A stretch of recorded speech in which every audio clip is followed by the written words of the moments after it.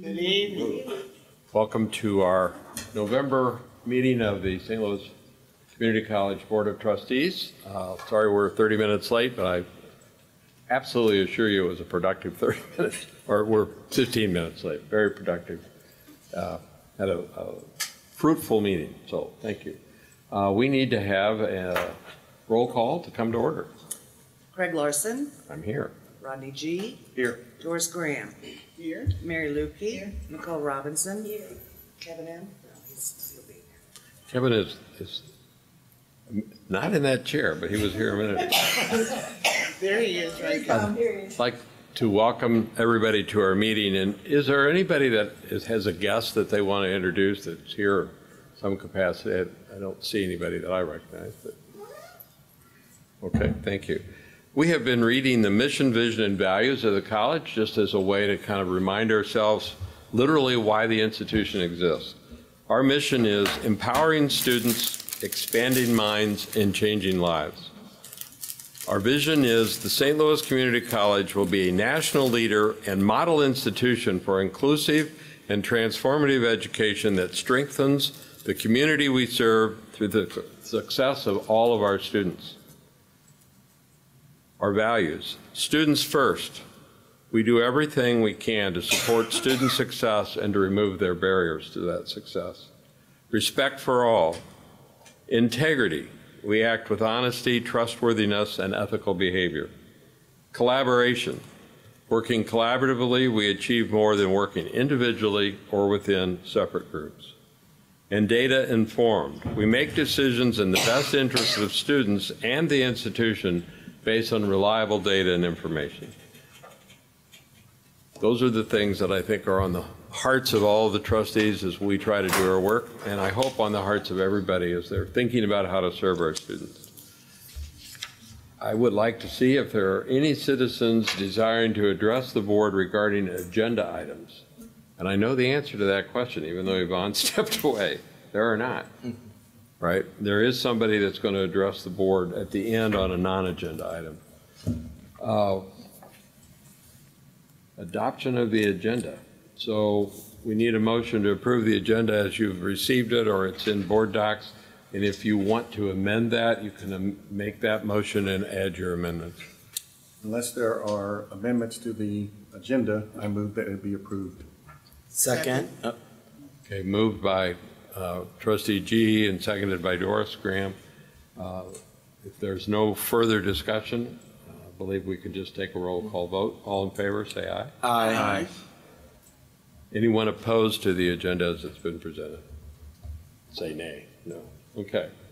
So we have the agenda, and I would ask for a motion to accept the minutes from the last meeting. So moved to approve the minutes from October 19, 2023 public session. Second? Um, Moved by Martin, seconded by Gee. Any discussion of the amendments, uh, minutes? Anybody find something that they wanted to suggest should be changed? or- If not, all in favor of accepting the minutes, say aye. Aye. Anyone opposed to that motion? No. Okay. At this time, our, uh, one of our more enjoyable parts each week or each month is to recognize students and staff accomplishments. We'll do that at this time. Bill, thank you. Good evening, Chairman Larson, Chancellor Pittman, trustees, faculty, staff, guests, thank you. Tonight, we are recognizing a faculty member for her award-winning work with nine PBS in St. Louis. Mariah Richardson, Assistant Professor of Mass Communications at Florissant Valley and Adjunct Professor at Forest Park, along with her colleagues at nine PBS, has won the Emmy for Entertainment Short-Form Content for Drawn In, Mariah was honored at the 47th Annual Mid-America Regional Emmy Awards Gala that was held last month. Mariah voices the character of Lady Magnitude in the animated series for seven and nine-year-olds that follows four friends who love comics. The show promotes literacy by featuring two magnificent words per episode and is a collaboration between Lion Forge Animation and 9 PBS. Lady M's magnificent words are essential vocabulary words that are organically incorporated into the dialogue of each adventure and repeated throughout as the kids try to analyze their situation, establish a plan, and overcome obstacles. By the time each adventure is over, Tyler, Nevaeh, Jaden and Grace will have used the words effectively and more importantly, used them as tools to set their world right again. Mariah is an accomplished playwright, actor, poet, and filmmaker. In addition to teaching at STLCC, Mariah has taught in after-school programs, residences, and homeless shelters across the country. Her goal is to combine her love of poetry, performance, film, and music to create work that inspires others to tell their own stories and radiate the creative spirit within. So congratulations to Mariah, and we'd ask her to come forward for a photo. And would uh, Janice Nesser-Shu, Mariah's Division Dean at Florissant Valley, and Sandra Osborne, her previous supervisor at Forest Park, also join for the photo? Janice is not here. Right over here. Up here. Right over here. On down.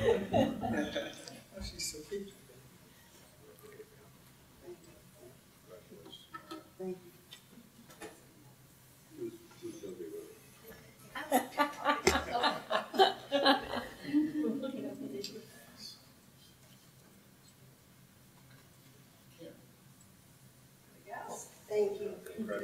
Thank you.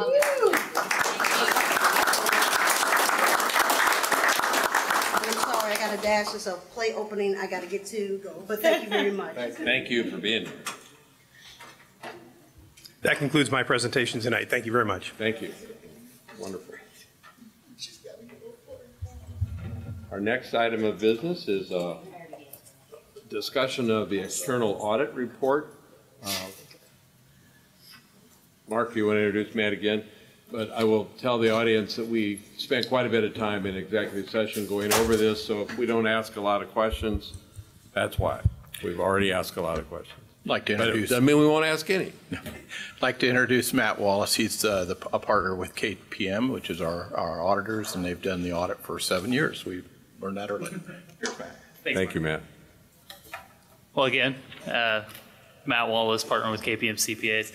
Um, As Dr. Larson mentioned, presented the audit in more detail earlier, but I did just want to hit a few of the highlights from the 2023 uh, financial statement audit results. Um, Just a few of the highlights without flipping through. Um, a Summary of our full presentation, you know, we did conduct the 2023 financial statement audit. The college received an unmodified opinion, which means that there is reasonable assurance the financial statements are free from material misstatement. That is the best opinion you can receive on your financial statements. So of course, I want to congratulate the college on that.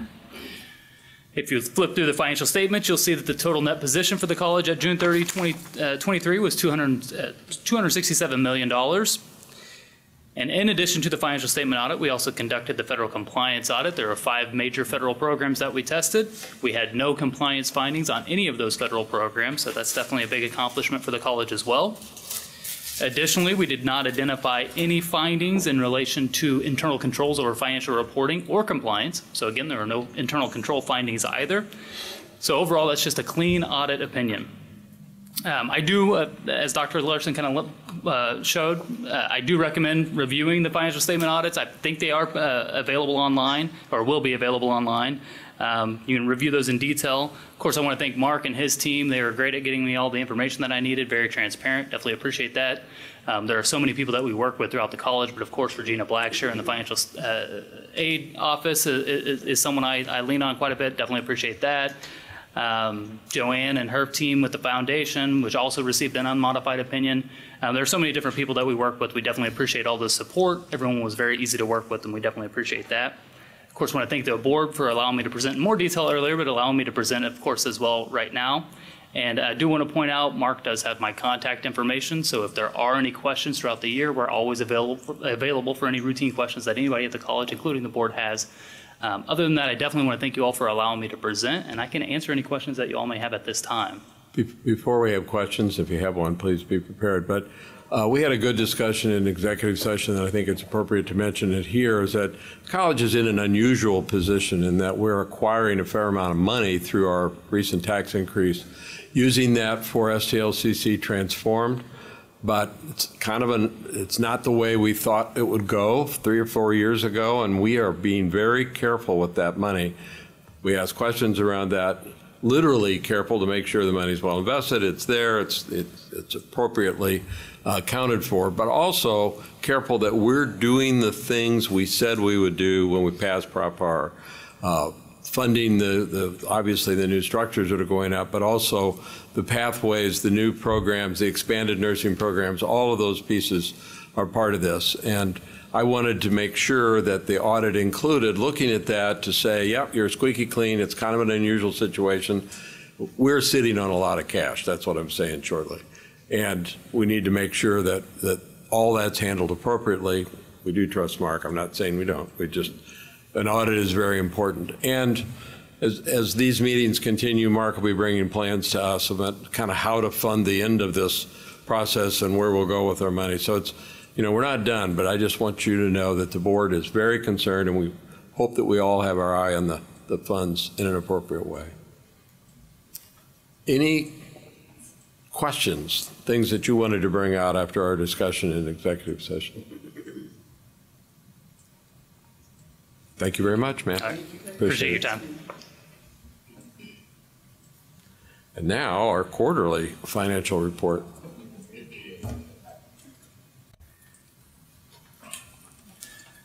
Muha's going to put it up. Great. Thanks, Matt. In your uh, financial package, under, for the finance section, you see the quarterly financial statements, and I'm going to give a brief report for- in a PowerPoint format, uh, but the actual statements are in, in your board packets. So this is for the first quarter. There we go. Uh, As you can see on the first slide, we have uh, approximately $31,700,000, $800,000 worth of revenue versus $34,516,000 worth of expenses. Uh, You just need to take, it when you're looking at the first quarter, you have to realize, first of all, that we have very little in the way of uh, property tax collected. That'll happen in the second and third quarter primarily. And so some of the numbers, when you see them, are you know, the expenses will be uh, even out over the time against the revenue that we have. Um, If you go to the, we go to the second slide. It's not working. There we go. Uh, You see the revenue broke out in a pie chart. Uh, You'll notice that uh, the uh, tuition shows a slight dec- decline, but that was not because of our enrollment. Our enrollment was up 1.6% for uh, the, uh, in terms of hours, which is what I always deal with because that relates to the cash side of this. Uh, But the headcount was also up 2.6%. Uh, But in, when you consolidate, we have bad debt and we had $75,000 worth of bad debt this year. And just because of the way the calculation works, we had a $295,000 gain last year. So if you take those two numbers out, you'll see there's a slight gain in, in tuition uh, revenue for the, for the quarter.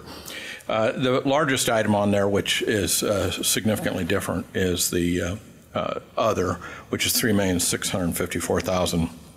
Uh, As Dr. Larson pointed out earlier, we have about, we had a substantial amount of uh, investments in cash, and that is generating income that is being, going to be used against transformed and also up against operational expenses.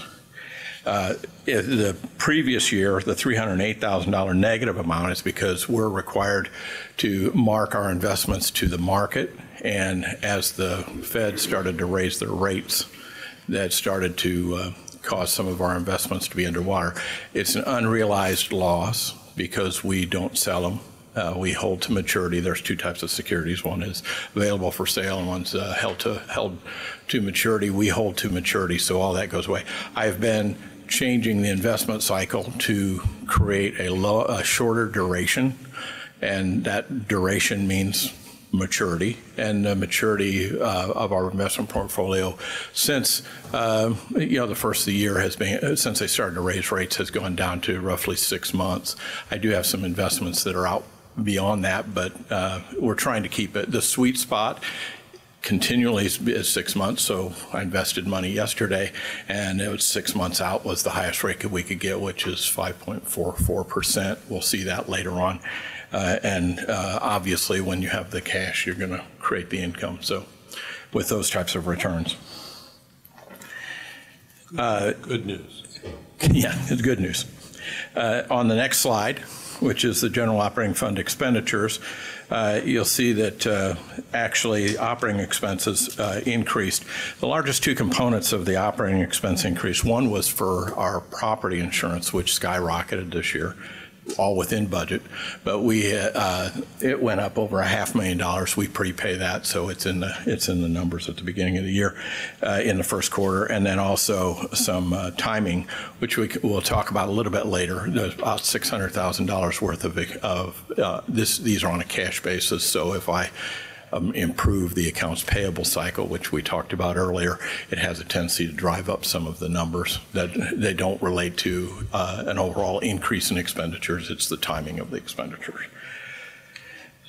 If you go to the uh, next page, you see the transfers that we have made to the funds, to the capital fund, which includes Transform, but it also includes other projects of $30,734,000.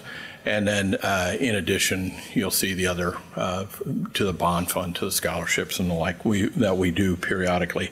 We pay our bond uh, interest on October 1st, and so that, uh, we actually have to make a payment a little bit early. So that $366,000 is the uh, interest payment on the, uh, the portion that relates to the first quarter, uh, that is on the COPS certificates of participation for the Center for Nursing at Forest Park.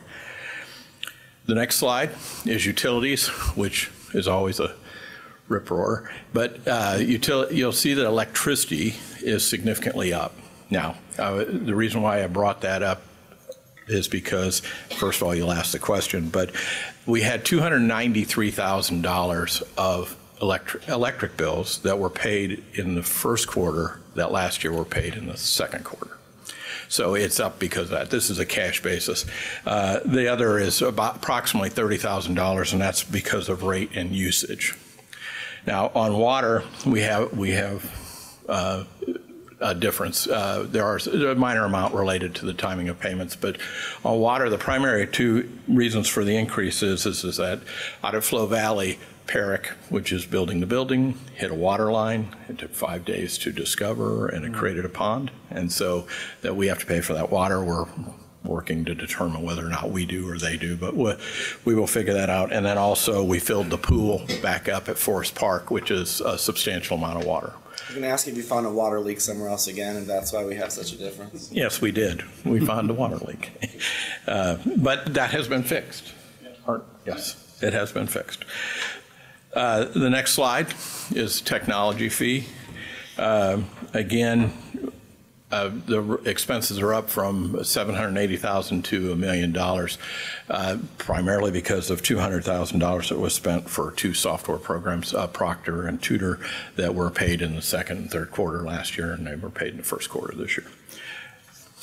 The next slide is uh, college and student activities. We, uh, really nothing to report there, uh, normal activity for that. Then we have public safety. And public safety uh, is similar position. It's not, uh, uh, nothing significant to report there, right in line. And you'll notice that the student activity fees on all these funds are up slightly, and that's because of the hour increase for the fall semester. Student services fee is next. And that, uh, I just want to point out on this one that at the October 23rd meeting, you approved a transfer of $100,000 from student activities to the scholarships to handle from need, uh, special needs uh, of uh, our students. That has not been made yet. And that, that hasn't been made in these statements because that was done in October and these are as of September 30th. So if you were looking for a, a transfer out, it's not there. It'll be in the next report. Other funds that we have, rental of facilities, agency, student financial aid, self-insurance, restricted capital, and auxiliary enterprise fund. I will point out, when you're looking at the statements for auxiliary, uh, understand that we changed our model with American Dining Creations, with you, which you approved, uh, which is to basically uh, contract out for the service. So we will see less revenue on the auxiliary fund for that. And then also Akademos, which is an online bookstore. And so we will not have the, re- we don't have the revenue for the bookstore. Now, you might notice, uh, and if you go back to the audit and you go back to page 27, there's a dollar amount in there for inventory of $173,000, which was the residual inventory for the campus stores that we have. It's significantly down from uh, uh, the previous year. So, on the balance sheet, we really want to talk about the investments, which is two slides. Uh, There we go. We invested uh, approximately a little over $20 million during the quarter, uh, getting an average yield of around 5.4%. Uh, And uh, like I told, said earlier, and I may, I, we, I invested yesterday and we're getting 5.44. So they're, they're real close. And as, as you get past six months, they drop off 10, 15, 20 basis points. So as long as Hart's spending a lot of money, I keep it short. Then if the next slide is uh, the cash position as of, uh, an investment position as of the end of the quarter, if you notice, this is uh, less than it was at the beginning of the year, which would have been the 630 from the audit, um, primarily because of tax collections. And that we, we have a tendency to run through some cash at the front end of the year. Uh, I will tell you that as of Tuesday next week, we will be at $41 million that we have spent on Transformed. We have approximately $6 million going out next week. So uh, from, from our, I, in addition, on Transformed, because that's the last slide, uh, I'm going to meet with Piper Sandler in the next week, week and a half, and we're going to uh, lay out the schedule for how we're going to do and present to you the, the funding mechanism that we described in the workshop from July 24th or whenever that was. That's right on schedule, because you said probably January, February, you'd come to us. They're telling me it's six to eight weeks. Uh, You know, I have my own opin- opinions about where the economy's headed and, and what's going to happen, but I think everything that we described in the July 24th meeting is coming to bear. I mean, it's, it, we're, we're right on track. Uh, If anything, and I'm not saying this for him to speed up, but we're spending less than I thought we would. So, but, so we're doing a little bit better, but it's not because we don't have con- contracts out for it. It's just the timing of expenditures. This takes time to get, Takes time. get supplies, get things done, is that what you're saying? It's Yes. not- And, and uh, as we, guys- as am we I move right? along, You've gotten some of your RFPs a little better than you might have thought, or? I think they're all coming in pretty much right at where we thought they would. Some, we'll talk about that in just a minute. There's, they're, they're, they're, they're doing well. Uh, But w- we have set up a special system for paying those so that we don't want any uh, hiccups and we don't want any work stoppages or anything like that. So tha- that's how I know that next Tuesday, there's $6 million that's, that's going to be paid out on, on Transformed. Uh, Again, we will start to receive tax money in the month of December and in January. So the, whatever we used during the first quarter and up to November will be replenished and more by the end. Questions about financial report? Okay. Thank you. Thank you very much.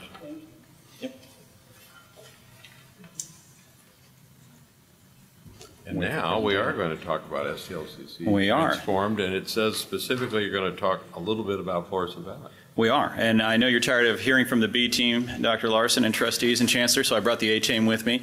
Uh, it's Nick Feeler with our Navigate Building Solutions, who's our construction manager at Flo Valley. Uh, hopefully, you're seeing a lot of value from the money that's being spent, especially at Flo Valley, where we've got two buildings well out of the ground. Steel is up, both buildings, I believe. Um, we've got elevator shafts up. But really, what we want to talk about today is the renovation phase. And so I think we've talked a little bit about the intent was always we're going to get the new buildings going and then start taking a look at renovation. Because of some of the cost savings that we've been able to uh, to achieve, specifically with the advanced manufacturing building, to the tune of I believe around eight million dollars, um, we want to repurpose some of that funding to do additional renovations at Flo Valley uh, as well as bringing some additional buildings offline that we hadn't had as part of the initial plan. That would be the IR building uh, and the PE building, which Nick's going to talk about, simply because of the age of those buildings and the fact that they're not useful and flexible. And so again, to bring that modern learning environment that we've been talking about. So really wanted to have Nick here. offline, does that mean you're not going to? We're knocking it down. It's going away. Sorry, yeah. Well, a lot of work to knock it down, but Nick's going to talk about that, give you an idea of what it's going to look like. Yeah, there we go. Uh, Knock it down, well, a lot of things there, but anyway, Nick's going to talk about that and what it looks like. I imagine. What's that? You knock it down and then plant something where it was. like We grass. mitigate the materials out of it, we decommission it, then we knock it down, then we put something nice there. So that's what we're going to look at. Nick, I'll turn it over to you. Yeah, thank you, uh, Chairman Larson, Chancellor Pittman, for the opportunity to, and members of the board, uh, an opportunity to present this evening. Um, as Hart, I guess, set me up on a T4 and then uh, set the bar high too. Thank you, Hart. Um, over the past few months, we have been, it is working. Over the past few months, uh, ourselves, uh, Navigate Building Solutions, your CM at Flo Valley, as well as Gemma, the architect, have been working with uh, um, Dr. Perkins and campus staff and really doing a, a high-level conceptual evaluation of all the buildings, um, but also keeping in mind that you have two new buildings going in, you have programs being relocated from existing buildings into the new buildings, so we know that there will be existing space that's currently being used that will, will no longer be used once the new buildings are up and going. So keeping all that in mind, um, there was an initial scope of work um, that we started with, and then based upon the savings that Hart mentioned, um, we kind of thought outside the box, like how can we really maximize the campus and re-energize and activate um, buildings that may be underutilized now, and then also um, decommission slash demo um, buildings that are uh, past their useful life and would be really cost prohibitive to kind of re remodel and repurpose. Um, so with that being said, the presentation, uh, a few slides I'll go through, um, we'll kind of go over the overall project scope. Where, where we are currently right now, I'm going to emphasize it's we're at the conceptual phase. Um, we're going to be starting with the design phase with uh, Gemma that will go over a series of months. But currently we're going to be targeting renovating the existing student center um, really bring an actual student center with a one-stop shop student services that you'll see on uh, some diagrams here, and then uh, doing some renovations to the existing engineering business training buildings. Um, also, the current plan would be to demo the communications building, administration building, the instructional resource building, and then the physical education building. Um, projection conceptual construction estimate that we've put together based upon the plans that you'll see here. Uh, we're in targeting a $17 million um, construction value. Um, so as I'll mention later, we'll continue continuously update that and do some gut checks along the way as we go through the design process.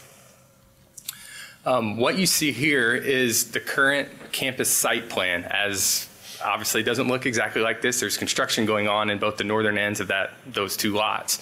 Um, but this is the existing site plan, um, and then I'm going to jump to the next slide here. This tells a bigger story. So the uh, box K that you see, that is the new nursing and uh, health science building that's currently under construction. And then box L is the uh, advanced manufacturing building that's currently under construction as well. So the uh, buildings you see with the red outlines, those are identifying the buildings that are slated to be um, demoed with uh, building A being the communications building, um, building F um, being the admin building, G the instructional resource building, and I the physical education building. Um, the doesn't point it out, but I will want to highlight building E is the student center. Um, so that's where uh, majority of the renovation will be taking place, as well as building J on the, the south plane south there on the south end of campus. So forward thinking, all new buildings are up, old buildings are put down. The slide that you see here would be a conceptual site plan of what the campus would look like um, with both new buildings and with the existing buildings demolished. Um, again, I want to emphasize this is conceptual, part of Gemma's design process. Um, they have a landscape architect on board. It will be to truly evaluate um, the green spaces that will be made with the buildings coming down. Um, but I think it'll really tr uh, truly transform the campus um, from what it looks like today. So.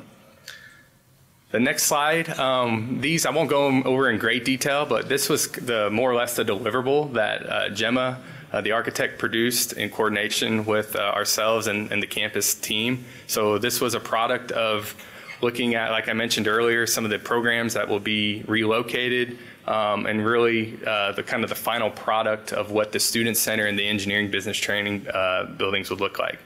So uh, the big thing here uh, that I would point out this, you're looking at the first floor slash bottom floor of the student center.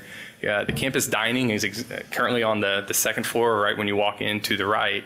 Um, the idea would be to relocate the campus dining to the bottom floor where the kitchen is, so that makes it a little bit more functional. Um, and then bringing campus life in here to where it really just activates this bottom floor of the building. Um, you'll notice in the top left the radio station that currently is in the communications building that will be relocated um, to a place where there's no windows. They don't like windows. They're tired of the, hearing the geese outside. So we'll, take care of that problem right here um, with the location. But um, there's some uh, uh, other areas that are kind of more campus life associated with that first floor. Um, Second floor is what I personally kind of refer to as a college student as a one, one-stop shop. So there's student services. I'm currently planning for the academic career development, um, your enrollment services, your testing, um, the business center, um, and recruitment and outreach. So um, moving to the engineering business training building, uh, this is the first floor of that. Um, I think the biggest item here uh, that, to highlight um, is where the, your existing advanced manufacturing uh, center is in the engineering building. Um, obviously, that program is being relocated to your new advanced manufacturing building, so it leaves a, a, a newer space. That's you know, fair, it's one of the newer uh, constructed buildings on campus, actually. So uh, it was identified as a, a, target to reactivate, and uh, that's been targeted for the new library. Um, some other uh, items to point out. So with the physical education building coming down, uh, it's currently planned to have um, fitness spaces renovated into the west side of this building. That you'll see those there on the, the green on the left. Um, and then also you'll have your um, online learning, online media, um, group study areas as well. Um, second floor is, uh, main thing here is the new president suite will be combined with Marcom and HR on the north uh, eastern side in that orange box. Um, also, the art gallery and permanent collections that's currently housed in the in, uh, IR building will be located here to the second floor as well. Um, there's uh, archives identified, as well as some new office IT storage. Um, the communications group, uh, who's currently in the communications building, they're targeted to come uh, be relocated to the northwestern uh, side of this building um, right now. So how do we get there? Um, current steps, our current status, and next steps. As I mentioned, uh, we've been working with Gemma and the and the campus staff. Gemma is currently in the schematic design phase. Um, so we're currently targeting the overall design phase being completed in the August 24 timeframe. Um, that design phase is uh, is in, it's comprised of milestones, I'll call them, um, with schematic design being one of those. Um, those each phase kind of gets a little bit more detailed until we get to an actual construction document set that contractors bid on. Um, right now, the schematic design phase, Gemma and their consultant team have been working, uh, walking the campuses and actually going into the detail um, spaces, literally pulling tape measures, et cetera. The idea is that during the schematic design, it's to validate and to confirm that some of the items that I've showed here on these uh, these diagrams actually fit into those spaces. It will be massaged. You know, there'll be some adjustments here and there. Um, our role, Navigate's role, what we'll do um, along each one of those milestones, we'll be giving you um, and, and, staff a detailed construction grade estimate along the way to, to, validate are we on target with our 17 million? Is that a plus or minus where that looks like? And you know adjustments done along the way. So.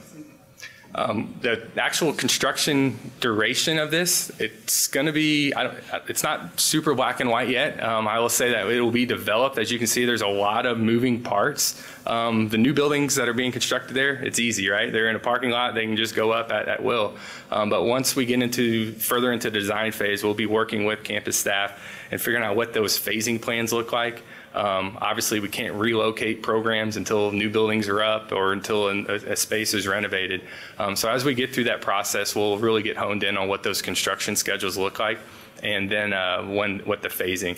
We do anticipate though construction on this portion, the major portion of it, um, beginning in early 2025 uh, after the uh, health science and advanced manufacturing buildings are uh, put up. So that is all I have slide-wise, but open to questions. And oh, sorry, let me make one comment too, Nick. Sure. Which is one of the things that you're well aware of is for our new new buildings at two campuses, we're able to do this enrollment center concept because we have them going in the new buildings at Wildwood and at Meramec. We want to make sure that we can do the same kind of model at our campuses that are going to take renovation. And so here's one where we're able to do that. It fits, we can afford it. All right, and we're going to keep honing that to make sure it still fits and that we can still afford it. Um, but it also is the schedule that Nick talked about, really great because they are very much on schedule right now. We're looking at a November and a December finish for those projects. They're neck and neck. They seem to be competing with each other on who's going to get done first, so that's great. We're also going to come back and talk to you at some point soon about Forest Park and our concepts there. We haven't forgotten about them, so just wanted to share that as well. Questions? Kevin? I'll say it's really exciting when we first started talking about all these projects and all the things that we weren't going to be able to do because we reached our money that we were able to repurpose money and save money in other places. Because I think I drive by this every single day with the terrible new exit at West Florissant. So those of you who live over there know how terrible that Can't fix it. curve is right there at the college, which is not a safe curve. I don't know what anyone. I hope your engineer team didn't design that because it's terrible. Because every day I drive by. But anyways, I think it's really exciting that we're actually going to transform this campus, particularly. One thing that I mentioned Hart before, but I also want to put us in the forefront more in the details, particularly since this has our deaf and hard of hearing program. I become more aware with deaf and hard of hearing community more because they're in my school every day now um, about making sure ADA light, lights for light, lockdown drills and things like that they are accessible. I mean, something I just didn't think about before. Fire fire alarms you think about, but when you're in lockdown, what signals do you have because they can't hear announcements? And so making sure that we are incorporating those things in our ADA compliance when we have the opportunity to. Of there is technology out there that's similar to a fire fire light, uh, fire alarm that would signify what lockdown you're in, and thinking through those to make sure for severe weather and other things that we are being mindful about opportunities, particularly when we're renovating or building new buildings. I know that was not a topic of conversation when we first started, and I don't know if the ADA team thought through that piece, but to me, I think it's really important that we are incorporating that as much as possible in our in our spaces, um, as that is certainly something at least I've become more aware of. But certainly, as this is a campus that also houses our deaf and hard of hearing uh, program or ASL program, certainly I think it's important to make sure we're thinking through that and adding that into the cost. Yeah, especially in places like the fitness center. That is going to be a brand new fitness center that we hope is a, an attractive place for people to come to on the campus. So. As many places we can incorporate it. Other questions? I know that there is a, I can't think of the street it runs into. Going out the back of the campus. It's pretty dark. I walk that campus, um, during the summer a lot. I would, I don't even feel safe. So uh, if we're gonna repurpose, we need to repurpose and put lighting and, you know, fix that back end of the, that road going out of our campus. Take a look at that. Is there any kind of surveillance like? There's nothing. You're just there and it's wooded. It's woods. It's woods. Yeah. Well, you're looking at lighting anyway, right, as a part of this whole project? Yeah, lighting for the lots, and again, that's the site plan that Nick was talking about. I mean, that would be much further away, so that's something that we can look at as a project as well. And then uh, have a conversation with STLCC PD, because we do have cameras up and IT, um, and it's not sure exactly where all they go to that far off campus. But yeah, it is, and um, you know, it goes into residential, so there's that balance, because we get definitely the, we don't want a bunch of floodlights going into our backyards if we have residential areas. So there's a balance between the safety, we want to make thing- things visible, and recognizing that we border on residential there. So we'll balance that, and we'll take a look. Well, there are fields off of that road. Yeah, which- the archery, you got the archery, yeah, Archery, yeah. And, Yep. um, But there are folks down there, and I don't know who they are. I never see our police department down there, so I'm just like, hey. A lot of people walk that path yeah. around. And we've had some initial conversations about hours of use for the campus, um, and especially with that in mind for safety. I mean, parks have a dawn till dusk, and we have to be thinking about that just for public safety perspective, so. The only other thing is for the night students, because you're consolidating now where the center is much more available to students than going so far off campus, uh, they may be more uh, inclined to walk across or go to the student center. So the more lighted that could be. Yeah. Because right now it's dim. Yep, yep. And that's part of the site plan there. One, one thing I'll also note is this is the next phase, and this is transformed, um, again, with bigger scope. I look at that and I see some beautiful green space, but I also see it's kind of dispersed this campus a little bit. And I would say a future phase, a well past Hart Nelson phase probably, is now we have space where we can put new buildings up without having to demo first. And we can fill in those if the demand is there, which we you know, didn't really have the capability of doing. And that's why we had to make kind of a more difficult decision at Meramec with our building there because of the, the compactness of the campus. We didn't have to do this here. It's why we're on schedule. But we have that capability in the future to kind of fill in that space between L, E, and H if we want to. Do, related to this campus, do we see getting rid of the Center for Workforce Innovation now that we're having this? Yes. Like that's part of the long term. That is part of Transform, not even long term. That all of Center for Workforce Innovation moves into Building L. And then we would sell or decide what we want to Absolutely. do with that. That's the intent. You don't think Circuit City wants it back? Circuit City might be coming back. I mean, you never know. They all come back after a while. Not sure that one. Toys R Us is back, so you never know what else will be back. If anyone calls about it, we, we will certainly talk to them. Yeah, uh, great. Thank you. Thank you. No more questions? Appreciate it. A and B team, good. We have a presentation on employee benefits. Yes, exactly. Good evening, Dr. Larson, Dr. Pittman, trustees. Um, I'm going to introduce Derek Duncan. He's with USI, they're our benefit broker. He's going to here to help with some of the questions. So I'm going to do some of the presenting, and then he's going to help because I'm sure you will have questions. So back in February, I was directed by the board to research three very specific items. Um, those were bringing on an on or a near site clinic, domestic partnership coverage, and looking at how do we increase the engagement of our high deductible health plan with the HSA. Uh, so we're going to walk through what we've found about those, um, provide you with a little bit of information about the direction we're going, and then we are out for open bid. Right, um, right now, we have all the re- responses back on our RFP, so I'll give you a quick update on where we are in the renewal process as well. So on on and near site clinics. Um, these have a lot of benefits. I think one of the biggest benefits that we see in these is increased access to care. I don't know about any of you, but if you've called your doctor's office recently and tried to get an appointment, they're often booking four, six weeks out just for a regular appointment. If you want a physical, it can be months. Um, and that has to do with a lot of the reduction in um, people in the medical industry, quite frankly.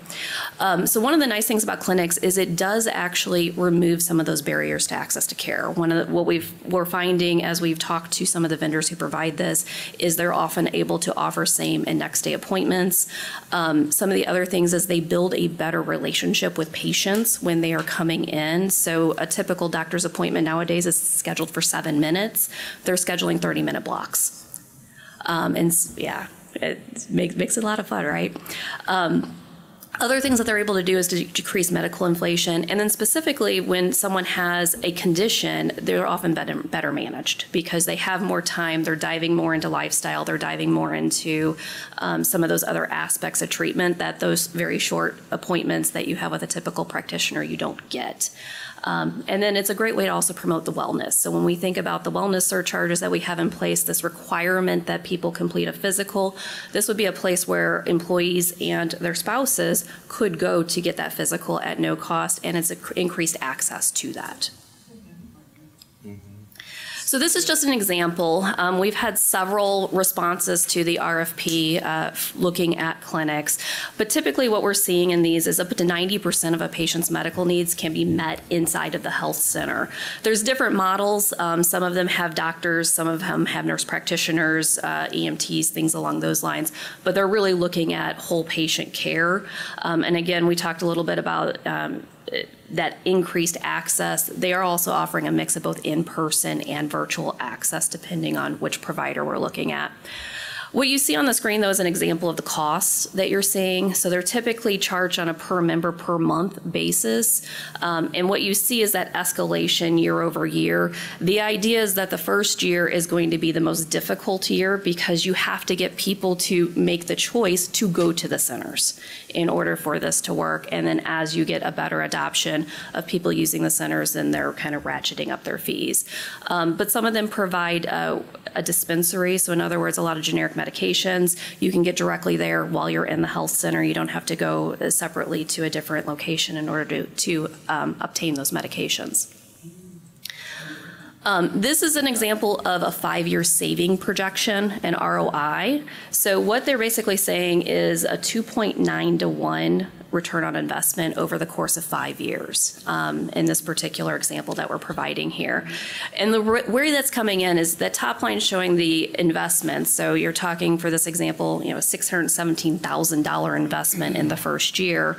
But there's basically saying that if people go, then we have a reduction in claims on the flip side. So it's that trade-off where to really do this, we have to get people to go and use it. Um, But over, over the long term, and it's a long-term investment, so you would have to be committed to this, there is a significant return on the claims data. So, do we want to pause for questions in the Yeah, middle? uh, Okay. uh, The Before I three made it- quite different issues, so uh, comments, you, Parkway has this, right? So you And can talk about that. I'll My bring daughter Derek works up in because Parkway, he's, so- Derek so- has done this multiple places. I'm super excited. I know we talked about this. Probably 17 uh, associate vice chancellors of HR, now chief human resource officers ago. It feels like 17 of them, but certainly it's been brought At up least some, one or two. some time ago, and I appreciate I appreciate that. And um, one thing that I know we talked on agenda review that I just want to see where my colleagues on the board feel. I believe one of the reasons that this is beneficial is when you provide a no copay cost for people on the regular plan. And so for me, it would be important to see a proposal that includes a no copay cost, because when we first talked about it, we were thinking of our custodians and our people who are at the lower part of the salary schedule. A twenty-five dollar copay is the reason why sometimes they do not go to the doctor. And to me, it is important that whatever proposal you end up bringing forward is one that includes no copay for the regular plan. Obviously, high deductible is different, but um, for the regular employee that we, the employee paid one, or employer paid one, that there's no copay, that we also offer blood work, farm dispensary, those things are all at the whole site to really encourage our employees. Is to that take the way. Parkways work? It is. And they've got several off-site locations. Yes. My And there's daughter other just- places. You know, she's sick, she just walks in. Or And I they mean- say, don't walk in, we'll just send you. Is Like- it kind of prescription too? They Yes. have prescriptions there. Like for example, when I woke up Tuesday sick, I went to the doctor, was able to get an appointment the same day. To your point, you don't have to wait to get a doctor's appointment. You're able to get in somewhere. I was in and out within 30 minutes with strep tests, all the tests done, ph- medication all done, and all that, and paid nothing, right? And so I think it's really important that we offer that There for aren't many employees. win-win-win situations, but this may be one of them. I think it's worth the extra money, and I know it costs more to offer no copay, but I think it's really important as we talk about being competitive, uh, particularly with rising ho- healthcare costs, and with honestly, as we we heard last year, I'm still surprised. I want to don't quote me. Forty percent of our employees are doing the annual. Eighty-four percent. How, what is it? Eighty-four percent. We hit, we hit 84%. Eighty-four percent now, Eighty-four percent. and that's way better than where we were, wasn't it? You were at about sixteen percent. I was going to say I thought the number was low. And now people are healthier, so they don't. And so regardless with who we go with, one of them I know is right in the parking lot over there. That's where I Right. literally was at. If whatever we go, but for me, I'd love to hear others say of offering a no copay. I think it has to be a no copay deal to me, be amazing. even if it's worth extra. It's, it's an amazing That would be program. amazing. It's an amazing program, and if people get the health care they need, they come to work. You're not taking days off for all of Because this. insurance costs are constantly rising, and we're, we're facing that all around, so. Yeah. I think it's a great thing. Yeah, and, and so a couple quick comments. Exactly right. Uh, unfortunately, like many good things, uh, Uncle Sam gets in the way sometimes. And so on that high deductible health plan, they're currently working through that. So we're seeking creative strategies from the top three vendors that we're interviewing on how to handle that HSA. But let's keep in mind, so the first element of it is any preventative care they want to have, which 84% of your people got, phenomenal. And it's not shocking that we see that reflected in your total healthcare spend over these last five years. But 84%, that's fantastic, especially from where we started, which I believe was 16. All right. Um, so, first off, all that preventative care is 100% free, no copay, no matter what. And there's a full list. You can go on and Google it. But your annual physical blood draw, all that stuff, 100% free, no copay, no matter what plan you're on. Uh, yes, on the HSA, according to the federal government, we do have to charge something, but, but they've not given more direction on that even as a law. So these groups are working to find some sort of creative solution on that. And I can live with the HSA. Right. It's the making sure there's no copay when they go for non-preventative things, Yep. for illness, Understood. anything. No, no, no, one question. Yeah. What about the family? That's an individual. If they're on the plan, usually they're covered. Cor- Correct, correct. And, and you can take all the kids, like, As long as they're on the plan. as long as they're on the plan. So at least one of them that we interviewed, there are some limitations on the pediatrics. So like infants sometimes aren't treated for everything that they might need there. So there might be some age limitations where it's like eight and above or something like that, because that was a That's question I specialty doctor asked. then. Um, But for the most part, yes, families are, if they're, as long as they're on our benefits plan, they would be eligible to go here. It- So short answer, yes. The options, the final options that will be presented to you will have a $0 PPO copay option, okay? But again, one of the things is HSA engagement. So we're trying to seek a creative way to appease Uncle Sam and continue to grow in this path. One, the, kind of the last note on this, and it's so important, many of the uh, St. Louis school districts have actually stopped using clinics okay? And the reason was because they weren't getting engagement. And the reason for that was because this is a wonderful idea, but if you do not have the infrastructure built underneath you, you will fail. It will fail. You will waste money, all right? I am very happy to say your team, the board, the decisions you all have made here, the time is perfect. Okay, you, you have 84% engagement in annual physicals and blood draws.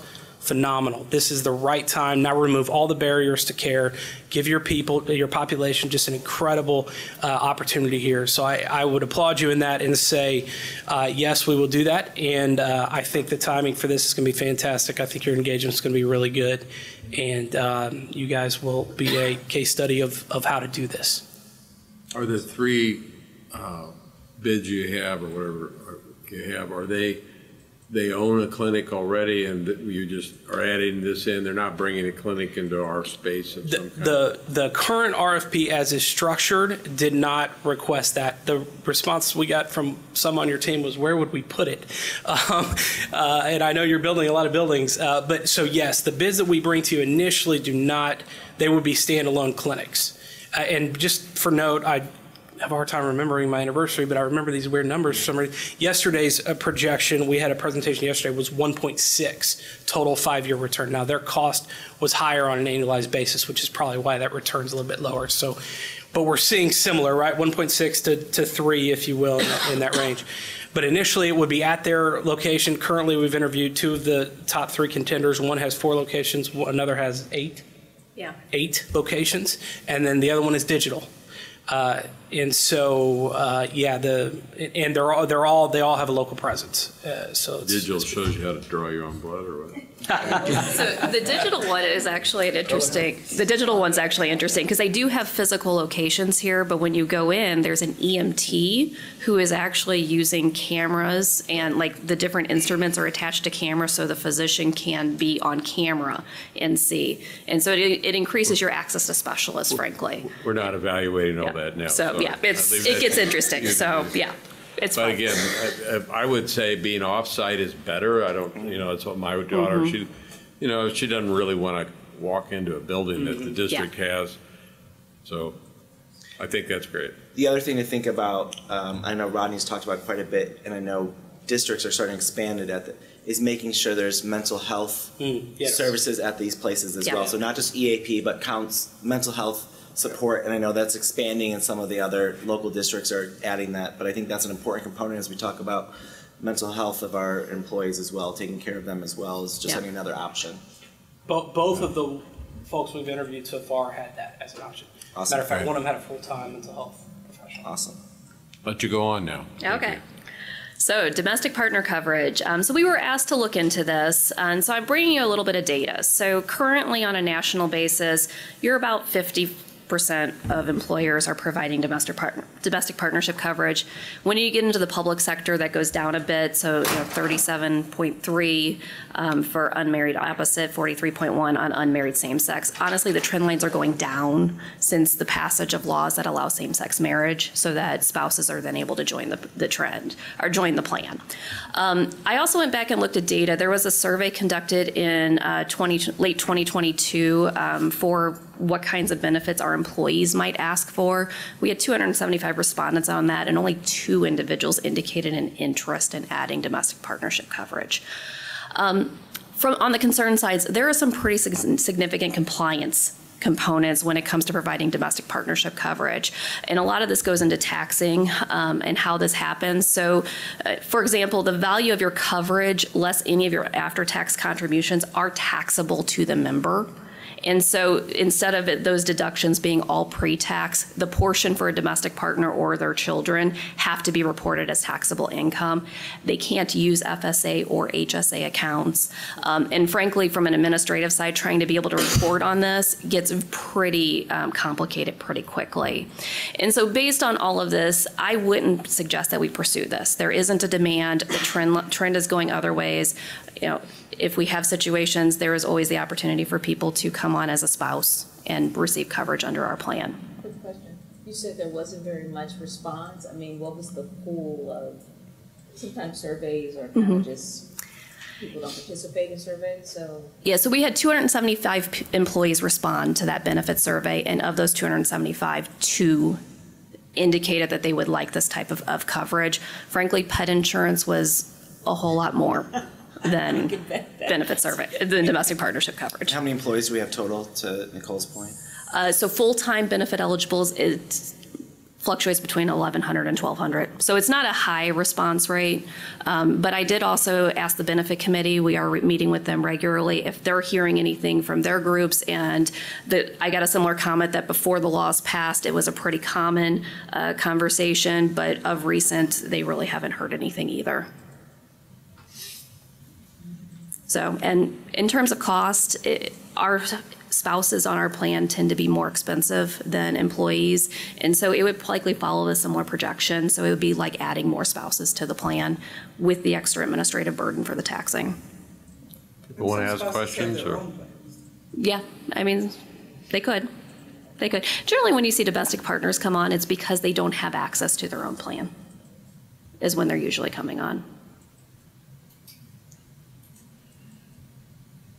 How do we balance not providing domestic partnership with being an inclusive, equitable environment for our employees? It's an excellent question. Let's think about it some more. That's all. I'm mm-hmm. proposing. Not, I'm not saying no or yes, I'm just saying there's a lot of friction between those two issues. Yeah. And if we're gonna be the best places to work environment, I don't wanna exclude people. That's all I have to say. It's a good way to end the conversation. Yeah, leaves the door open. Thank you. All right. Want to move on to high deductible health plans? Yes. Okay. So here's some benchmarking. Uh, So on our, uh, and the way you read this is the left side is individuals, the right side is family. So what you'll see on the individual side is our high deductible health plan um, well exceeds the benchmark in terms of the $1,000 employer contribution that we make into the HSA. And then when you look at the bottom half, you can see as a $0 plan, it's also much, much lower than all the benchmarks from that side. When you look at the family side, you'll see we're actually lagging a little bit um, in terms of that $1,000 is a little less than the benchmarks, and our cost to provide a family level of coverage is slightly higher than the benchmarks. There were 135 colleges and universities in that benchmark. You see that. So a good sample size. So what I always like to look at when I'm talking about these plans is I, I it works best for my brain, and I think it works best for a lot of people's brains to actually see some examples of how expenses run against each other when you're comparing plans. And so I've got just a few scenarios for you, and the line that I'll pay most attention to is that total employee cost, um, which is really looking at the premiums you're paying plus the claim cost. Okay, and so in this situation, this is an employee only who has their annual preventative care, and then they have four other visits that they go into throughout the year. They get they have some labs related to that. So they have some pre- prescriptions. So you know, like Kevin said, he went, he got all the tests, he you know the strep, the COVID, all of those things. Probably had you know some prescriptions come from that. And what you see very quickly is because of that thousand dollars that we're putting into the HSA um, on that qualified um, high deductible health plan, the out of pocket cost for the employee employee is actually zero, and they still have money left in their HSA because their total cost was only $859, and that money will carry forward. On the buy-up and base, you can see the, the differences. The buy-up would cost about $1,060 for someone with this level of coverage, and 160 on that base plan. Most of that cost in that buy-up is coming from those premiums. So then on the scenario two, where we're looking at employee only, one of the biggest things I hear is, I don't want to sign up for the HSA plan because what if something happens? What if I have to have a surgery? What if I injure myself? What would that look like? And so in this situation, you're seeing someone who did their annual preventative care, but they have an ankle injury, they had to have some outpatient surgery done, and then they had several follow-up office visits as a result of that. And so in this situation, you do see at the math level, um, even after that $1,000 contribution to the HSA, about $4,000 out of pocket total from the high deductible, 3,400 on the buy-up, 3,900 on the base. So that base and that high deductible actually run fairly close to each other in terms of the cost in that example. So then I look at family. Um, and so family, again, similar kind of thing, but we've got a little bit more going on here. Um, you know, you've got the ankle injury, you've got the office visits, you've got some maintenance medications, you have a preferred brand medication. Um, how does that start to stack up? And when you get down to that bottom line, looking at a full family, even with that higher deductible, what you see is the base actually comes out the most expensive in this particular one. And I'll also note that the base plan and the high, high deductible health plan have the exact same out-of-pocket max, which means that when you are looking at your total out-of-pocket, um, it matches. And so what people um, often miss, and this will go into the next point around education, is if you didn't have that ankle injury in this situation, they probably would have walked away with some money left in the HSA that just rolls and keeps building year over year because you never lose that money. And it's tax-free. It's all tax-free contributions into that account. So when I think about um, how do we start to engage? Uh, I think number one, there's some communication that has to happen. That's pretty critical.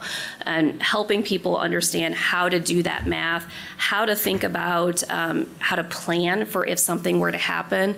You know, if you're a lower um, compensated employee, that, that uh, deductible is scary right? To say I might have to come up with 3,000 or $5,000. So thinking about how do we help them think through all of that.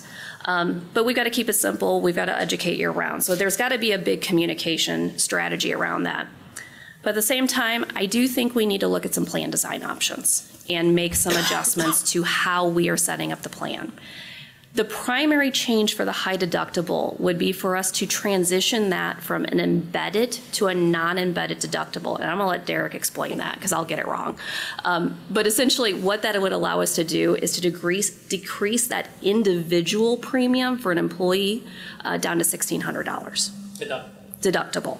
Okay, makes it a little bit more palatable when you're starting to think about that. When we did the running, we also decreased the HSA funding a little bit by 750 to kind of bring those two things in a line. Thinking, you know, we're trimming about half of that deductible; they would cover about half of that. Um, other options we're looking at here, in addition to thinking about that high deductible health plan, is consolidating the base and the buy-up into a single PPO plan. Um, those would ha- potentially have deductible changes, so we would bring that deductible up a bit from where the um, buy-up plan currently is, maybe consolidate to like a thousand, so it's kind of in the middle, maybe meet it at the 1500. We've got to think about what that might look like. Um, and frankly, I've, the benefit committee has some concerns about that, so I just want to be transparent. So, um, you know, feedback I get from them is it feels like we're taking away benefits. But some of this is also thinking about if we want to bring in clinics and we're trying to bring in zero cost clinics, where can we find plan savings as well as we start to move through that? So I'll let Derek explain the embedded versus non-embedded here. Yeah, so really this is only impacts you if you're on the family coverage. Okay? And so again, that pesky Uncle Sam uh, getting in the way.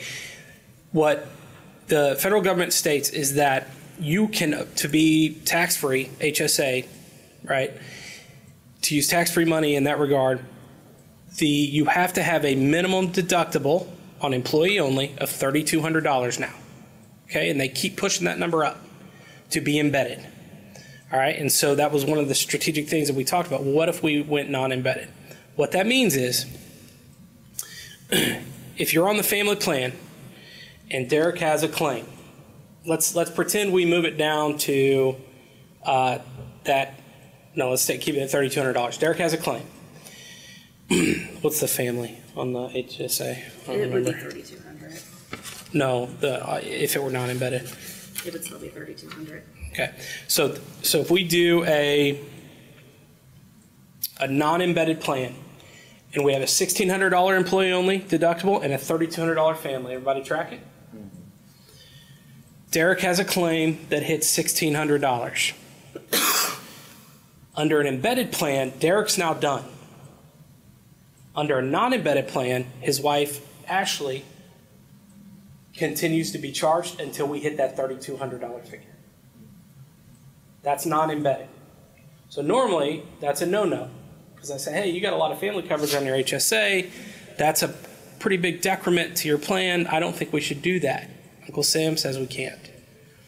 But you don't. You hardly have, you have less, you have about a, less than 100 people on your HSA plan. 41 people on your HSA plan. That's less than hundred. That's less than 100. Really less. Okay?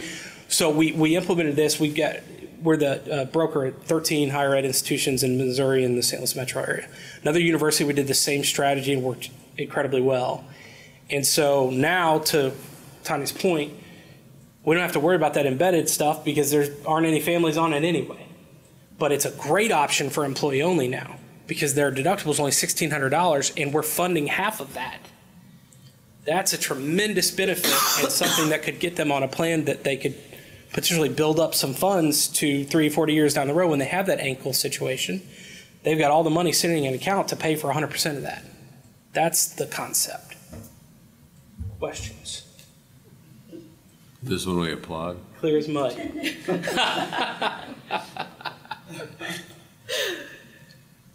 So there's a lot of work still to be done. I I mean, think trying to get people to understand it, but I do like your, your concept of sweetening the pot a little bit so that people will be more enticed to consider it. Yeah, and I, I will say that, I, you know, even when talking to the benefit committee, they're like, we just don't understand how it works. And so that's been a lot of what we've talked about there, and I think there's a lot of education to talk about as well. Because people do get scared when they think, oh, if something happens, that's a lot of money I gotta try to figure out how to come up with. But it, it, you know, I think the obvious reality is if we had 200 people on a high deductible plan, at least 100 of them would be acquiring money over time. Right. And maybe more than that. I mean, if, if- there are reasons why your health situation is such that you might as well not get on a high deductible plan. I mean, it is. It's not for something fam- everybody. Yeah, it's not for everybody. It's something families should consider. But for an awful lot of employees, it makes a lot of sense. Put money in your pocket. Yep, that's the goal. So, any other questions about that or thoughts? Right, so just real quick on the renewal on the marketing overview. So we are out for full bid on all lines, and so that's a lot of bids that we have going. And the appendix of this is a full list of everybody and whether they've responded or not. So if you're curious about that level of detail, it's available to you. Um, but essentially, Cigna is our current incumbent. They have provided a renewal. Renewal. We've also gotten renewal from Aetna, Anthem, and United Healthcare. Um, we've got a couple things that we've got to look at still. We're also looking at all of those ancillary lines. Um, we've got full competitive quotes, so we're going through that process right now.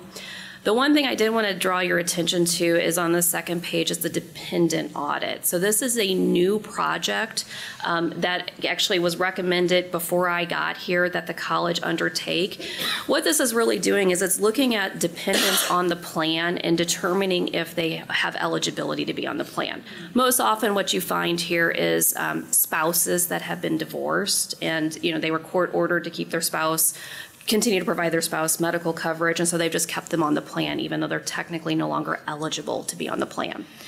Um, typically, when you go through these for the first time, and from what I can tell, the college has never done one of these de- dependent audits. Uh, usually, find about five to seven percent of people who are ineligible to be covered, um, and so that is one an audit issue, but two, it's also a cost savings. Well, it's, it's it's certainly a fiduciary concern on a self-funded plan because if you're buying stop loss insurance for that person, if that person is not supposed to be on the plan and they have a large claim, the stop loss company could go, hey, we're not paying for that. And then you're left with, name your number. Yeah, whatever's it's left there. Concern. So You we know are. Why we've never done it before? From what I can tell, I can't find any documentation that we've ever done this before. And so the way I would approach this and what we're talking about is communicating this ahead of open enrollment so that people can choose to drop any non-eligible dependents at no fault. That's not already done, right? Is that, isn't that it's being done initially already? I'm sorry. Isn't it already being done, like when you do open enrollment? So when they do open enrollment, they should be dropping them if they're no longer eligible, or they should actually be filing a qualifying life event to say this person is no longer my spouse or this person should no longer be covered. That doesn't always happen. Um, and you know, I've seen situations where nieces and nephews have made it on, grandkids have made them onto plans. I mean, I, I've I've done this probably three different times before, and you find some weird stuff that's in here. But usually, the best way to handle this is to allow people to just quietly make the correction without us having to do something. And then we'll go back through and we will ask for an audit. It is a little noisy because we do ask everyone to resubmit eligibility paperwork. Um, But that's why we're looking at a vendor because they would handle all of that for us and the administration of that. So these generally pay for themselves plus some. Oh, and with that, that is what I got. Well, I feel like we're ahead of the curve where we're normally at with benefits. I feel like it's right up to the button or we add another meeting in to be able to get benefit stuff in. So I appreciate us being way in Yeah. advance to communicate and be transparent with folks. Doesn't mean everyone will agree with what direction you want to do, but at least we're educating on why and where we're going and what other things we can add to help the total package of what our employee has to offer. Yeah, and my goal is to come back in January with, this is what we're recommending for vendors and everything, so that then you can vote in February. The one uh, holdback is we won't have stop loss in January yet. That always is a little late for us. So I think, speaking for, I think speaking for the board, we like the clinics, we like the high deductible, kind of a neat combination, some of your ideas about how to make those work together. That's a, that's a nice next step, given what we've been done to this point. I can't believe we got eighty-four percent of the people to go get the draw, blood draw. That's great. We did. Thank you. I'm overwhelmed. Uh, We have a needed motion related to trustee travel. Uh, If you remember last month, we had two of our trustees who were kind of like, ooh, I missed that deadline. Uh, So we, we have put a motion together, and I would let somebody read that to us, that uh, we would support Nicole and Dr. Graham. I move we approve trustee Nicole Robinson's travel to Washington DC for the ACCT National Legislative Summit scheduled for February 4th through 7th, 2024, and trustee Doris Graham's travel to Washington DC for ACCT Diversity, Equity, and Inclusion Committee meeting February 2nd through 4th, 2024. Is there a second? Seconded by Mary. Any discussion? I, I just have a question. And you probably know better than I do. Is that for the diversity meeting? Yes. Is it nominating? Well, the, the two would happen over the same time period. Okay, good. Yeah. Okay. I think, yes, you could go, bo- go to both. Be good. We have a motion and it's been seconded. I- Any further discussion? That was helpful. All in favor, say aye. Aye. Anyone opposed? Okay. Thank you. Thank you for- for representing the college. Uh, Resolution for Policy Revision Standing Committee. I'll summarize it. This is our year that we'll be reviewing sections A, B, and C.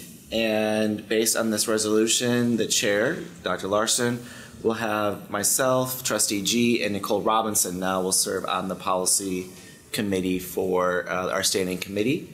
Um, and with that, we would ask the college send out something communication-wise to have feedback on A, B, and C to the board subcommittee by January uh, 10th probably is the date. We want all feedback from the community to be able to include that. Yvonne, if you can make a note of that for that.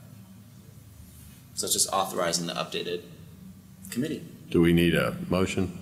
I move that we approve the motion as presented. Second? Who's second? Second by me. Mary. All in favor, say aye. Aye. Anyone opposed? We, we learned that AI is moving into that space. You are familiar with that? That now you can ask AI, it's not a lawyer, but lawyer can look what AI says and Evidently, AI's current weakness is they hallucinate sometimes. That's a term being used. They don't know the answer, but they don't want to disappoint you, so they just say something. So that's, that's not good. Now you're moving into politics. I didn't mean to. Uh, We are ready for the consent agenda. I would take a motion to approve the consent agenda as presented, or if somebody wants to include in their motion, they'd like to either ask questions about something or remove something, they can do that I move to approve consent as uh, presented. as presented. Second? It's been moved and seconded to approve the consent agenda. Does anyone want to raise a question? All in favor of the consent agenda, say aye. Aye. Anyone opposed, say nay. It's been passed. Uh, I think we're ready for the Chancellor's report. All right, thank you, Dr. Larson. Good evening, everyone. It's my pleasure to be here once again. Uh, So I have a few items that, if I can get this to work. Oh, helps when I push the right button. A few items to talk this evening. I thought I'd give uh, just a kind of a quick tour of our groundbreakings uh, over the last few months. Uh, Talk a little bit about a feasibility study for the foundation. Then we're getting ready for the legislative session, and then I have a little announcement to make on Bellwether uh, for this year. So uh, I'll just go through these photos. It's stunning for me to think we're through all the groundbreakings and there's buildings coming up out of the ground. It just seems like, how is this happening so fast? But it is. And I want to thank all the trustees that have attended all these groundbreakings. Uh, you can tell by this first picture of Wildwood, we have a lot of fun at these. And um, I, yeah, I think I, this may be my most favorite picture with Keith Romander. It looks like he's ready to take that dirt and just fling it everywhere. So he was pretty excited. This is at Wildwood. This happened on May 25th. Uh, you can see a couple of the trustees in there. And uh, that building is moving along very quickly. As Hart mentioned earlier, there's steel going up. Uh, they pretty much got the foundation all around. And that building will focus on uh, nursing and health sciences as well as advanced technologies. So that's moving right along. And this was also a building that this last year we received an additional $21 billion from the state of Missouri and American Rescue Plan dollars. And we're going after another $21 million this year to assist with the construction of that project and reduce our overall costs. So we're thankful for the state for that. Then on July 19th, I mean, the temperatures are starting to warm up a little bit. I remember that day, we were kind of all sweating, but we broke ground for the Center of Nursing and Health Sciences, just seems like a few days ago to me. And uh, that, that was another great day, but if you've been up the Flo Valley lately, you understand what's going on up there. If you have not, I would encourage you uh, to go up there and see the progress that's being made. And I was very excited about Navigate's presentation this evening on the, really the whole transformation that's going to occur at Flo Valley. And all these projects are just, they're just dramatic. I, I don't know if you understand or grasp what's about to happen, how different these campuses are going to look, how much more student friendly they'll be, not to mention the state of the art facilities that we'll have going forward. Then uh, about a month later, we had another groundbreaking in Flo Valley. That was for the Advanced Manufacturing Center. Uh, this is a very distinguished looking bunch here that we have a couple of trustees. We were all behaved and not throwing dirt uh, at that particular moment the photo was taken. Uh, but that's going to just be another fabulous building for us. Then September 8th, we're at uh, Meramec and the Financial Services Center and Center for Emerging Technologies. We'll be going up there soon. We just recently completed demolition. If you have driven by or went to Meramec, it's kind of shocking how much space those older buildings took up uh, and how open that looks. And this is really going to open the campus up. I mean, this will, again, you're really going to be able to tell where the front door is to Meramec. I had a hard time figuring that out uh, the years that I've been here because the, the whole campus is so closed in. But this is really going to open things up and we'll just have a couple of beautiful new centers there. Then uh, finally, on October 25th, we had the Forest Park Transportation Center groundbreaking. And uh, again, that was another great day, nice, cool day, but uh, well attended event. All these events were really well attended. Our a lot of our community members have came out. So the trustees and all of us should feel good about that. And I just want to commend uh, the trustees for their leadership and support, as well as all of the employees, the faculty and staff that have been involved with all this planning and work to date. This is really a big lift for the college. I thought one building going up, you know, at, at Forest Park was a lot of work. I didn't really know what we'd be in for. Uh, but, the, but the staff are responding well. Our partners with the architects, construction management firms, and construction team managers are performing well as we move forward. Then I, you know, not to, I, I just have to give you a little bit of a, you know, preview. Coming soon, we've talked a little bit about esports, but this is a rendering of what it will look like and what is now the multi-purpose room down in South County to be our first esports center. Um, and that work will begin soon. But th- this is going to be really some pretty slick space that I think is going to attract a lot of students. And I don't know if you were paying close enough attention when Navigate presented the um, engineering building. Um, there was an esports center in that one as well. So that's our vision and our hope that we're expanding esports at least at a couple locations, as well as working on expanding our athletic facilities going forward. So the foundation, you know, it's not setting idly by. They see an opportunity here with all these buildings going up. Um, there certainly is the opportunity to at least do a feasibility study to see would there be interest and support across the St. Louis region to assist us financially with some of these great projects. Certainly, there are lots of naming opportunities, Joanne would tell you, uh, with all these built, all the way from naming a complete building to naming a lab or a classroom. Uh, so we're, they're going to issue an RFP, is that today, tomorrow, November 17th? Uh, it- We're probably gonna be a little delayed from that. We're still working with uh, purchasing, so. Okay. It'll be soon. Okay, so the 18th then? Yeah, we'll we'll have, we have the RFP out on the street and we'll identify a vendor. um, And hopefully by the end of January, we'll have a recommendation for you for a vendor. And that, well, that actually goes to the foundation board, right? Yeah, so hopefully the foundation board will decide by then on which vendor to use uh, through the process. The last campaign, it was worth the effort. Um, We had a goal of 20 million, we ended up with 23. Uh, So I think the timing's good to take another look at an additional campaign, really pretty short period as campaigns go, but I think that St. Louis market's big enough that we probably ought to take at least another look to see if there's interest. Getting ready for the legislative session, which will be a real interesting session, given that it's election year and a lot of excitement will be going on over in Jefferson City. But uh, we are going to be seeking a 5% core increase that aligns with the Department for Higher Ed Workforce Development's recommendations that are coming. Um, Some of you may remember, certainly Mark and I remember, a couple of years ago, there was a one-time $10 million appropriation that went to the community college core funding. There was some uh, lively debate about how that was split up, but it- we finally res- resolved that. Now we're looking at um, seeing if we can't move that 10 million to core funding permanently. So that would be an annual recurring amount in addition to the 5%. We're working to get that. We don't know if we'll get that in the governor's budget, but that's, um, that's underway right now. And remember, the new funding formula for MCCA going forward is based on enrollment. So any new funding we get will be based on enrollment per college.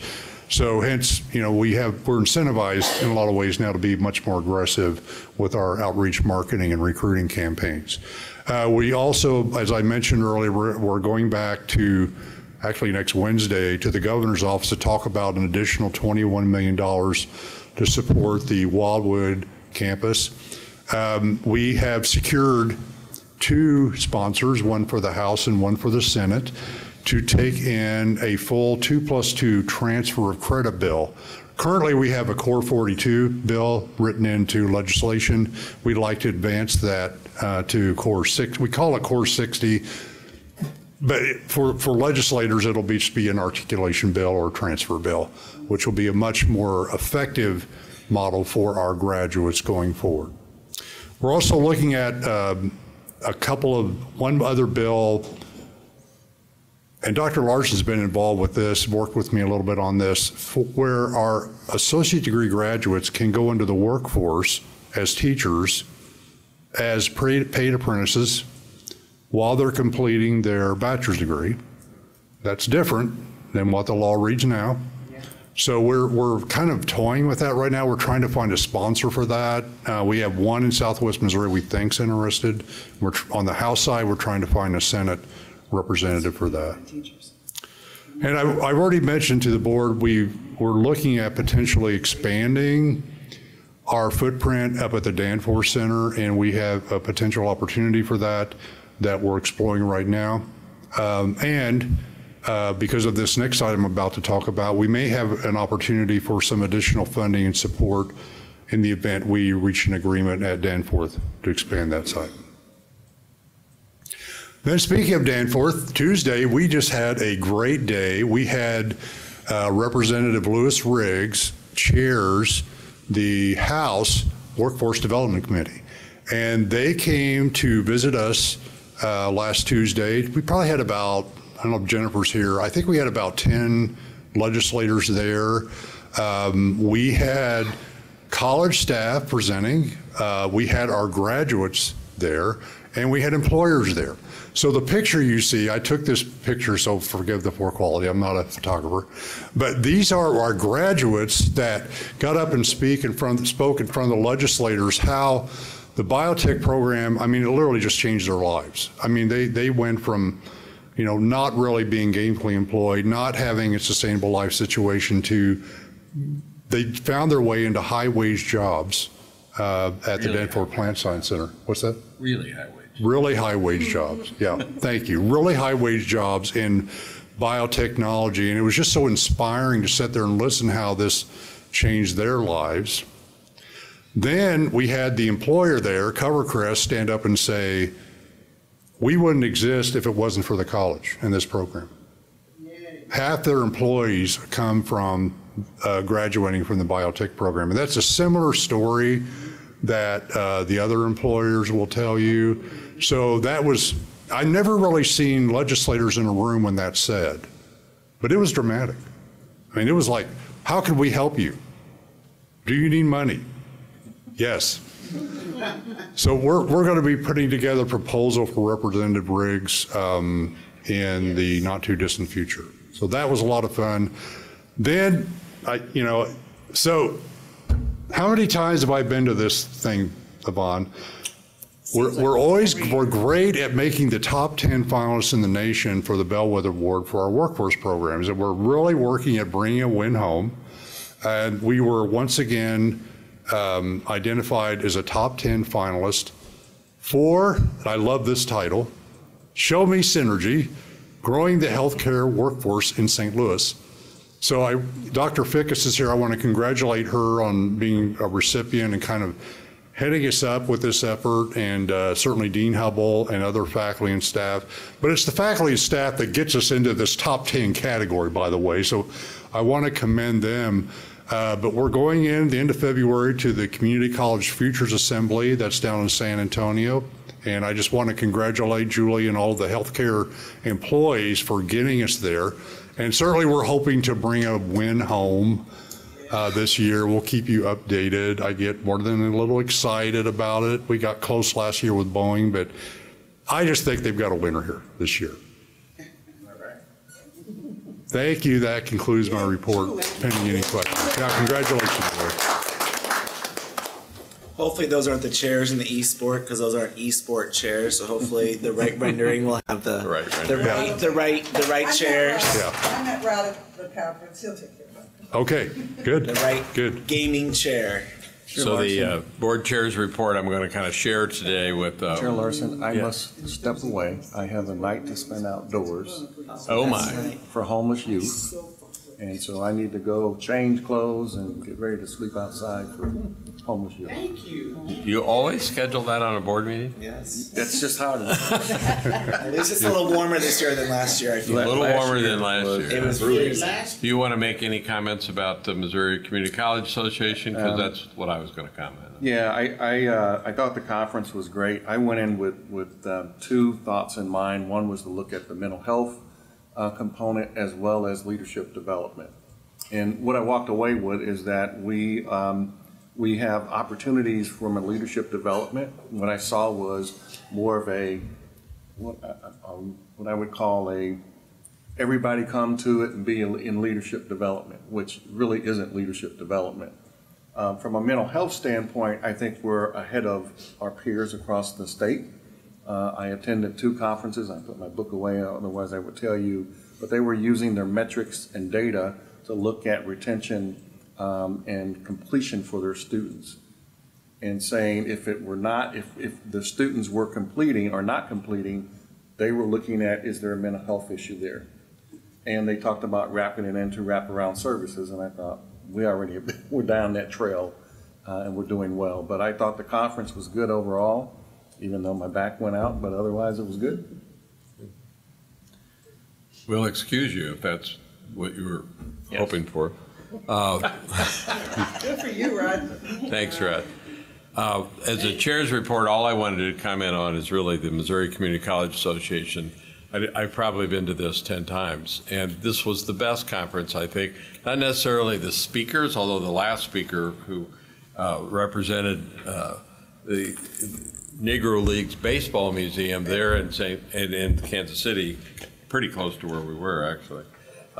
He was phenomenal. I mean, it just, and he brought all this information about how important the Negro Leagues for the development of baseball in general and how positive it was. It's just terrific. As the uh, final presentation, I think everybody kind of walked out of there on, uh, kind of buoyed up and on air, really. He, he was great. But I went with the idea of going mostly to the sessions that St. Louis Community College staff were presenting. And I run the risk here of missing some. Julia, I didn't go to yours, I'm sorry, but I know your, yours was exceedingly well received because they made one of those posters of, of yours.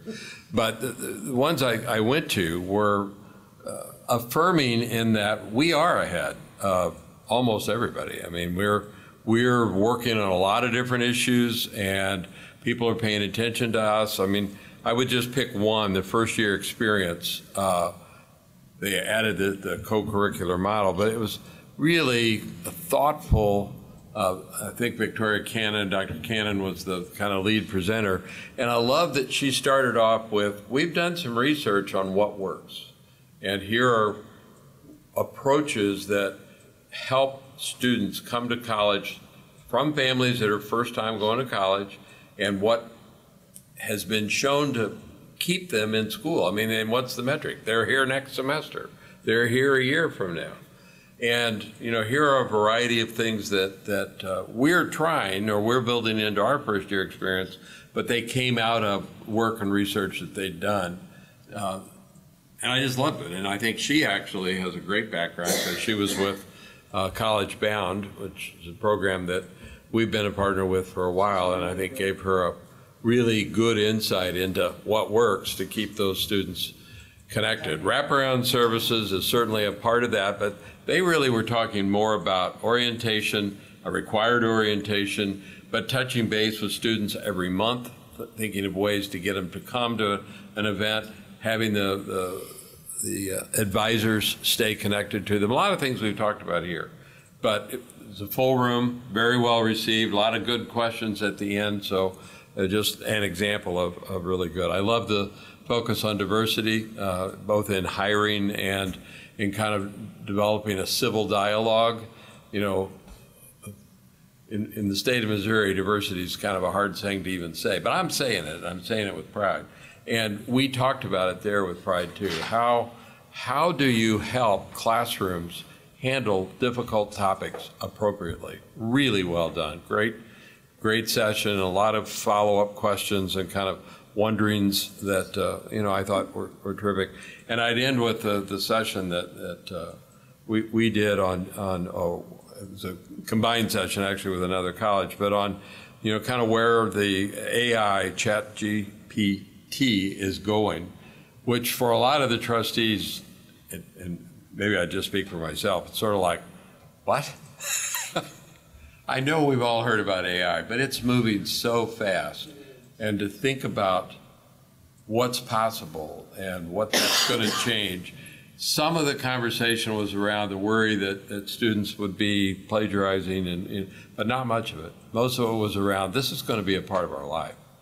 What's that really mean? How do we build that in? Similar to our several year discussion to say students should be able to go to community college with a phone. Now they're going to go to community college and use artificial intelligence in ways that I couldn't even begin to imagine. But it was a terrific, uplifting, I think, pre- presentation and kind of conversation. And several, and it was really a packed room. I mean, it was more people than, than the room would hold because people are struggling with this issue. It's a very real issue in, in the higher ed world. Anyone, Mary, you were there, do you want to pick up any of the other presentations you went to? I didn't try to read everything that we went Well, I went. went to several. Fong was so, uh, he made the presentation so that we could understand even a little bit about AI. You know, and, and the big uh, take from that is the horses left the barn. So stop fighting it and let's figure out how to educate with it and what to do. Um, I gotta compliment you on the diversity one. Uh, that was just, I don't even know how to tell you how informative that was, how open it was. What a great job you did. Uh, you walked away really feeling able to understand what people deal with. That was a favorite. Right? I- I- That may, may have been one of my favorites. I mean, so congratulations. It it was wonderful. Um, but we both left the last one, which, which was uh, about the student experience, Yeah. higher than a kite. Uh, the people who are doing this for us know exactly what they're doing. And then they separated from student services. I'm, I'm going to talk to our vice chancellor about that. they are so excited. And You know, uh, you said they know exactly what they're doing, and, and I think I, I highlighted that too. They used research and they're really thoughtful about how they're going about it. But I love that they were pretty honest. They didn't know exactly what they were doing. This is a work in progress. They're getting better at it. They're looking at what's working. They're asking students. And, and having been a longtime employee, separating from student services, which is what you've been advocating for such a long time, making this first year experience, how to get registered, how to get involved, and then how to understand students that may or may not be like you. And it was just one session after another fed to the next one. And I haven't gone to as many as you have, but it was the best NCCA I've watched. I don't know that I have any more to add. Uh, I think the right thing is we've got uh, one citizen de- desiring to address the board. Yes. This is the moment. Yes. Uh, uh, my understanding is I've got, what, two minutes? Yes, two or three. Bring, uh, uh, my concern. Mr. Mr. Irons, we're not going to shut you down very easily, but. Uh, thanks a lot for recognizing me and giving me the opportunity to speak to you. I'm here on behalf of a number of people who are concerned about the fate of the Harris Building, which is adjacent from Vashon High School. Uh, the community, the students, faculty, and the alumni, uh, for some reason, thinks that the community uh, college board or the community college is going to rent the facility out to a charter school. And the concern we got is the fact that if they're going to, if a charter school is going to come in, then we look at it as a slap in our face and the demise of Vashon High School. Now, we're in a unique situation. We have a uh, elementary school there, which is uh, 8 through 12, uh, 8 through, well, kindergarten through 8. We also have the high school, which is 9 through 12, and the Harris Building, which was built on the fact that our kids would have the opportunity to be able to matriculate to a junior college and get college courses. Now, when you look at that model, there are not a lot of those models around the country. There are a few. Uh, when the charter school comes in, or if it comes in, or if it's given the opportunity to flourish, we're looking at the fact that where are these students coming from? Uh, there's a new development. We all understand that the National Space Program in the area is there. The housing development around Vashon, uh, we hope, will flourish. But when you look at charter schools, they pick off. They don't take every student. They don't take every kid. They have ch- an opportunity to pick and choose who they want at the school. Now, from my understanding, this here goes totally against what the St. Louis Community College mission is. And the mission is to give every, every kid an opportunity. So if, if that's the mission, then if we allow a charter school to come in there, that would mean that the opportunity that will be flourishing for our kids will not exist. So we're just asking that when you consider the, uh, what you're going to do with the, the Harris facility, to give us an opportunity to, to at least voice our opinion or at least come up with a way that we can show you that that building across the street will be a benefit for not only the kids at Vashon, but the total community. So, uh, you know, I'm, I can't give you a lot of statistics as to charter schools. Uh, that's not my specialty. But, you know, that which I read is, is tells me that charter school is a money-making venture. It is a, it's, it's, it's throughout the country is destroying public education. Uh, and I don't see any glaring reports to say that the charter schools are doing any better than the schools in the St. Louis public schools. Uh, and I know many of our kids in the St. Louis public schools look forward to going to the community colleges. You know, I my wife worked for the St. Louis Community College for 35 years. She taught math, and every night she would come home and talk about her experience at, at the uh, at the college. She taught math for what she called the handy-capable kids. You know, the, the, the, the courses that many of the faculty did not want the lower level, but she felt that was very important. And her experience as a teacher in the St. Louis Public Schools uh, opened my eyes to a lot. You know, uh, as a former principal and, uh, and basketball coach at Vashon High School, you know, I used to talk about the opportunity. And I've been affiliated with the St. Louis Community College for a number, number of years. I've sent a number of kids to the to the college. So, you know, again, we want to just appeal to you to take a long look at it. I know I've learned more tonight about the job that you have to do, the jobs that you have on your plate. I've learned a lot. Uh, I didn't come for that, but again, I've learned a lot, and you got a lot of uh, things that you have to deal with. And our situation might be a little minor, but to us, that's very big. It's very big.